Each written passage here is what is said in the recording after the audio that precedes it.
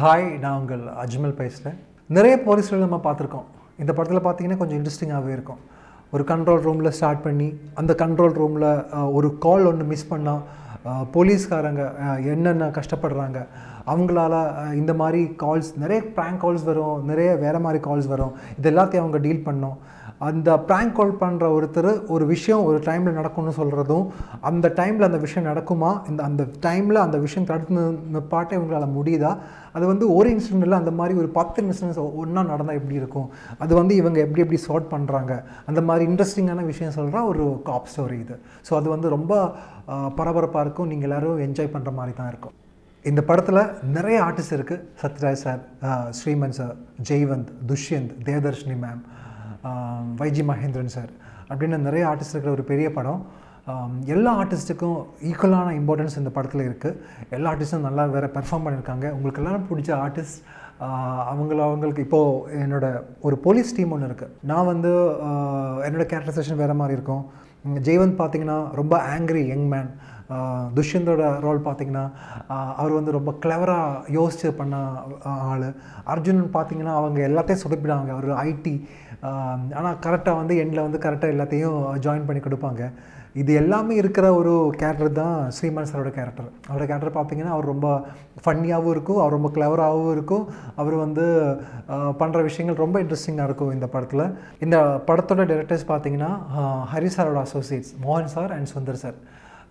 மோகன் சாரோட கதை. அது வந்து எலாபரேட் பண்ணி எங்களுக்கு அந்த ஸ்க்ரீன் பிளே அதெல்லாம் ஆர்டர்லாம் ரெடி பண்ணி கொடுத்த எங்களோட ப்ரொடியூசர் தான். சுந்தர் சார் தான் இந்த படத்தை எக்ஸிக்யூட்டிவ் பண்ணாங்க. அவரோட கெமிஸ்ட்ரி ரொம்ப சூப்பராக இருந்துச்சு. அந்த கெமிஸ்ட்ரினால தான் இந்த படம் இவ்வளோ நல்லா வந்திருக்குங்கிற நம்பிக்கை தான் எனக்கு இருக்குது படத்தில் ஒரு எயிட் டு டுவெல் இன்சிடென்ட்ஸ் ஒன்று இருக்கும். அந்த எல்லா இன்சிடென்ட்ஸும் பார்த்திங்கன்னா சமீப காலத்தில் தமிழ்நாட்டில் இருந்த உண்மையான சம்பவங்களாகவே இருக்கும். இப்போ நீங்கள் அந்த படம் பார்க்கும்போது நீங்கள் ரிலேட் பண்ணுவீங்க. இந்த சம்பவம் வந்து நான் அந்த இடத்துல நடந்தது தானே? இல்லாட்டி இந்த சம்பவத்தில் இருக்கிற அவர் வந்து அவரா? இல்லாட்டி இந்த சம்பவத்தில் இப்படி தான் நடந்துச்சா? அந்த மாதிரி நிறைய கேள்விகள் உங்களுக்குள்ளேயே வரும். அதுதான் இந்த படத்தோட ஒரு பாசிட்டிவான எலமெண்ட் சத்யராஜ் சாரை உங்களுக்கு எல்லாருக்கும் பிடிக்கிற மாதிரி எனக்கும் பிடிக்கும். அவர் கூட ஒர்க் பண்ணுங்கிறது என்னோட பெரிய ஆசை. ஸோ அவர் கூட ஒரு நாலஞ்சு நாள் தான் நான் ஒர்க் பண்ணேன். அந்த ஒர்க் பண்ணும்போது ரொம்ப சின்சியராக ஒரு குட்டி பையன் ஒரு புதுசாக ஒரு படத்தில் வந்து நடிக்கிறதுக்கான நடிக்கிறதுக்கு எப்படி வருவீங்களோ அப்படி தான் அவர் வந்தாங்க. அவர்கிட்ட இருந்து நிறைய விஷயங்கள் நம்ம கற்றுக்கிட்டே இருக்கலாம். ஒரு நாலஞ்சு நாள் தான் ஒர்க் பண்ணேன். ஒவ்வொரு நாளும் ஒவ்வொரு விஷயங்கள் நான் கற்றுக்கிட்டு தான் இருந்தேன். இன்னும் ஒரு பத்து நாள் ஒர்க் பண்ணேன். இன்னும் ஒரு பத்து புது விஷயங்கள் நான் அவர்கிட்ட இருந்து கற்றுக்கிட்டு கற்று ஒரு அவரோட கேரக்டர் வந்து இந்த படத்தில் ரொம்ப முக்கியமான கேரக்டர் அவர் இல்லைன்னா இந்த படம் இல்லை. அவர் வந்து எங்களுக்கு கிடச்ச வரோம். அதுவும் நீங்கள் வந்து அவரை அவரோட ஓல்டு படங்கள் பார்க்குற ஆளுங்களுக்கு இந்த படத்தில் வந்து அவங்களோட அந்த ஓல்டு சத்யராஜ் சாரை பார்த்தா இருந்த ஒரு ஞாபகம் வந்துடும். தேவை செஞ்சு எல்லோரும் ஃபேமிலியோடு போய் பாருங்கள் என்ஜாய் பண்ணுங்கள் இந்த இந்த படத்தில் நடிக்க ஒத்துக்கிட்டதுக்கு வந்து பெரிய காரணம் வந்து இந்த படத்தோட கதை திரைக்கதை. இவர் தான் ஹீரோன்னு சொல்ல முடியாது. எல்லாமே இம்பார்ட்டண்ட் கேரக்டர்ஸ் நான் ப்ளே பண்ணுற கேரக்டராக இருக்கட்டும் சரி அஜ்மல் ப்ளே பண்ணுற கேரக்டராக இருக்கட்டும் சரி ஜெய்வந்த் ப்ளே பண்ணுற கேரக்டராக இருக்கட்டும் சரி ஸ்ரீமந்த் சார் கேரக்டராக சரி சத்யராஜ் சார் கேரக்டராக சரி எல்லாமே வந்து முக்கியமான கேரக்டர்ஸ் ஒரு ஒரு கேரக்டருக்கும் ஒரு ப்ராப்பர் கேரக்டர் ஆர்க் கொடுத்துருக்காங்க இந்த கதையில்.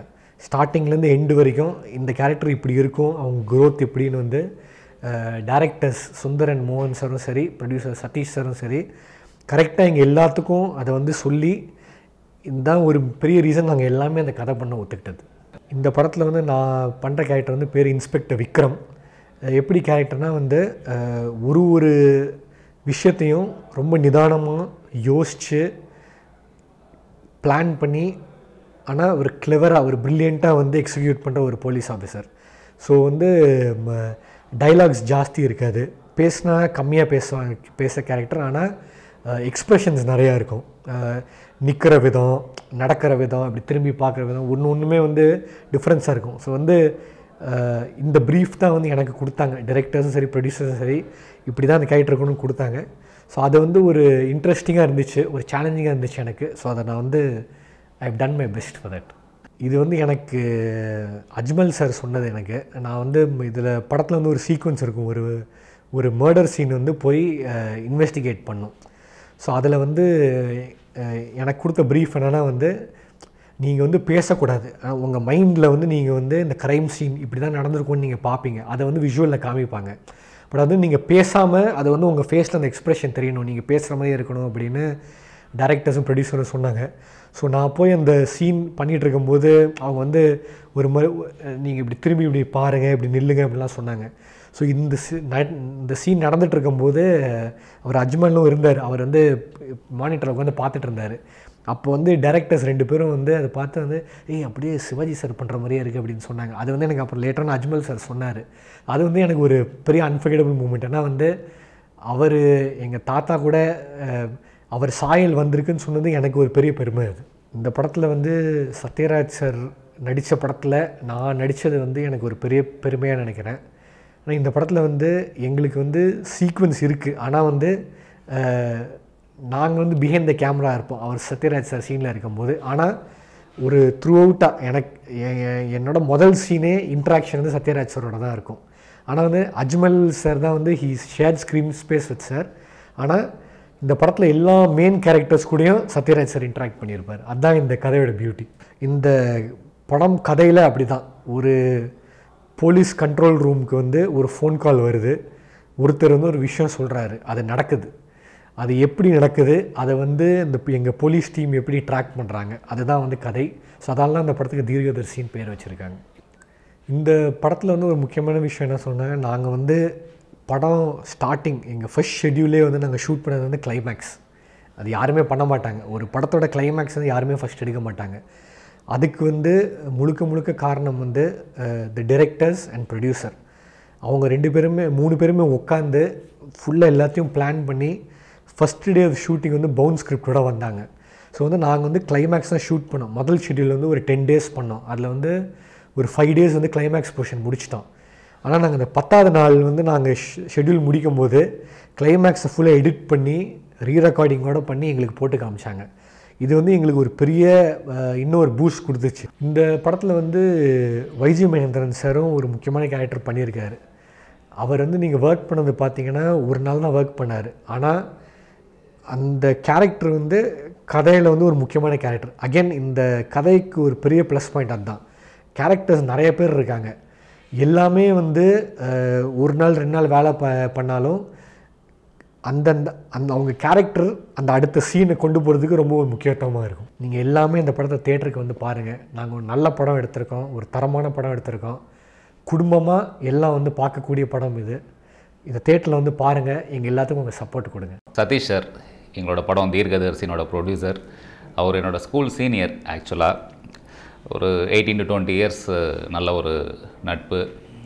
திடீர்னு ஒரு ஃபைன் டே கால் பண்ணி இது மாதிரி ஒரு படம் பண்ணுறேன் அந்த ஸ்கிரிப்டில் ஒரு கேரக்டர் இது நீ பண்ணால் பர்ஃபெக்டாக இருக்கும் அப்படின்னாரு. எனக்கு ஷாக்கிங்காகவும் இருந்துச்சு ரொம்ப சந்தோஷமாகவும் இருந்துச்சு. அப்படி டேக் ஆஃப் ஆனது தான் இந்த படம். இதில் ஆக்சுவலாக நாங்கள் வந்துட்டு ஒரு team of cops police character நார்மலாக தமிழ் சினிமாவில் வந்துட்டு போலீஸ் ஸ்கிரிப்ட் அப்படின்போது ஒரு டிஃபால்ட்டாக அந்த போலீஸ் ஸ்டேஷன் அந்த செட்டப்ஸ் அது மாதிரி இருக்கும். அதுலேருந்து எங்கள் படம் எப்படி மாறுபட்டிருக்குன்னா இது முழுக்க முழுக்க கண்ட்ரோல் ரூமில் நடக்கிற ஒரு சுவாரஸ்யமான ஒரு விஷயம். ஒரு ஒரு சீக்வன்ஸ் எடுத்து நம்ம நார்மலாக ஒரு படம் பண்ணுவோம் அதுக்கு ஒரு கிளைமேக்ஸ் அப்படின்னு போயிடும். பட் இந்த படத்தை பொறுத்த வரைக்கும் மல்டிபிள் சீக்வன்சஸ் இருக்கும். ஒரு எயிட் டு டென் சீக்வன்ஸ் இந்த படம் ஃபுல்லாக வருது. அந்த சீக்வன்சஸ் பார்த்தீங்கன்னா நம்மளோட டே டு டே லைஃப்பில் நம்ம Uh, மேபி பேப்பரில் பார்த்துருப்போம் இல்லை நம்ம தெருவில் பார்த்துருக்கலாம் இல்லை நம்ம வீட்டில் நடந்திருக்கலாம். ஸோ இது ஈஸியாக ஆடியன்ஸோடையும் கனெக்ட் ஆகிற மாதிரி ஒரு விஷயம்.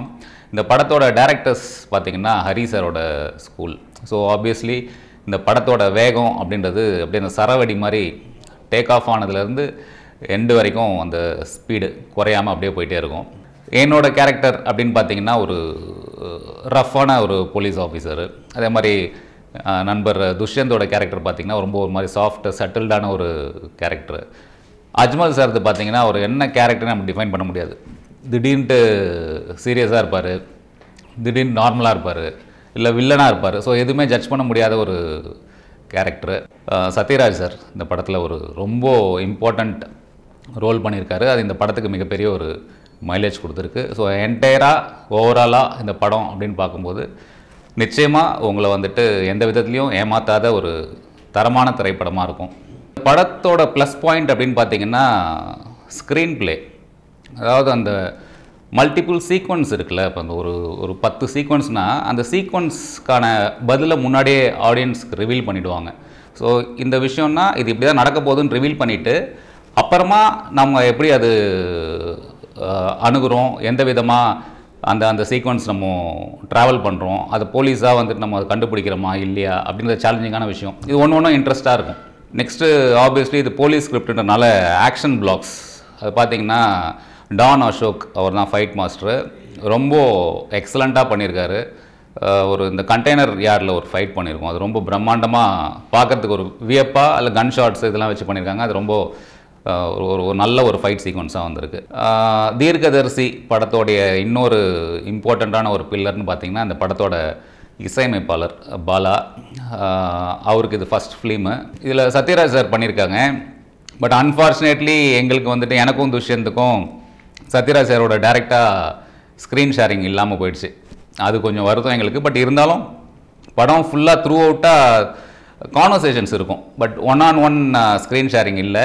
அது எங்கள் டீமோட லீட் அப்படின்னு பார்த்தீங்கன்னா அஜ்மல் சார் எங்களோட ஹையர் அஃபீஷியலு அவருக்கு அந்த ஒரு ஸ்பேஸ் இருந்துச்சு. இது உள்ள ஆடியன்ஸ் ஒன்ஸ் வந்துட்டாங்க அப்படின்னும் போது இந்த படம் பார்க்குறீங்கன்னும் போது நிச்சயமாக நீங்கள் வெளியில் போகும்போது ரொம்ப சந்தோஷமாக டூ குட் ஃபிலிம் அப்படின்ற மாதிரி சொல்லிட்டு தான் போவீங்க.